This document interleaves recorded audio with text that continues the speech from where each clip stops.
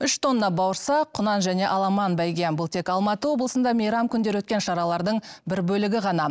Наурыз мерекесі биыл өңірдің түкпір-түкпірінде дүркіреп атап өтілді. Бір ғана Жамбыл ауданының өзінде 40-қа жоқ киіз үй тігіліп, бірнеше қазан көже пісірілген. Толығырақ тілшіміз Нұртілеу Жылқышыбай айтып берсін. Ерекше атап өтілген наурыз мейрамы сірә Жамбыл ауданында болған шығар. Мұнда бір күнде 12 мыңнан астам адам жиналды.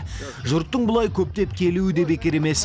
Тонналап пісірілген бауырсақ пен мыңдаған литр дайындалған тегін наурыз көжеден бөлек кез келген қазақтың жаны сүйетін тазы жарысы көкпар, құнан және аламан бәйге өтті облыс орталығынан бастау алған мерекелік шара әр ауданда себебі ауданда жалғасын табуда себебі облысымызда 84 пайыз халық ауылдарда тұратын болғандықтан облыс әкімі таңертең мерекелік шараны облыс орталығынан ағаш отырғызу ауладағы жаңа тұрғындардың наурыз мерекесіне қатысып құттықтауынан бастап алып үлкен ірі елді мекендерді аудандарды аралап құттықтап жатыр. Әкім аралаған жерлердің ішінде қарасай ауданы да бар. Қаскелең қаласында халқымыздың тарихынан сыр шертетін киіз үйлер тігіліп ұлттық спорт түрлерінен жарыстар өтті.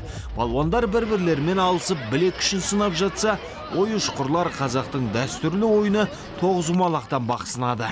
Наурыз мейрам деген біздің халқымыздың ата бабамыздың кезіндегі осындай халықты бір біріне жақындату жаңа жылды қарсы алу көктемдегі бірінші күнімізді осындай жаңа жылда басымыз қосын деп халыққа наурыз ойын жасаған.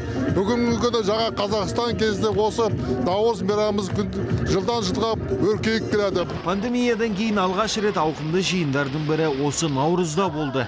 Биылғы мейрам еліміздің барлық өңірінде дүркіреп атап өтілді. Нұртілеу жылқышыбай вячеслав тимофеев ктк алматы облысы